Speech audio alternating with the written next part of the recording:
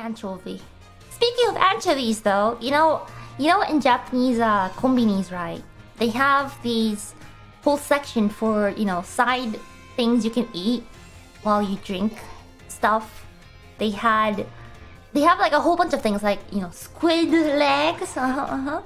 There's this one that I kept getting, and every time I went and there was like like five or six bags of it like in stock, I would just buy all of them. It was like dried sardines, and then I would just be eating them.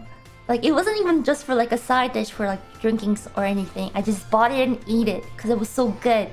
And um, I was seeing if I could buy some here.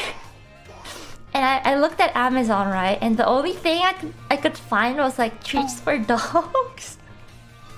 and I really, I really thought about it. I thought hard about it. I was like, is there any difference between the ones meant for dogs and the one to be eaten snacks?